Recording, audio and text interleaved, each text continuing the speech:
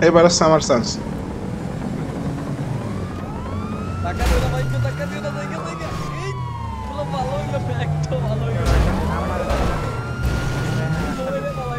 ভাই এখন এই জায়গায় না অন্য জায়গায় গিয়ে করি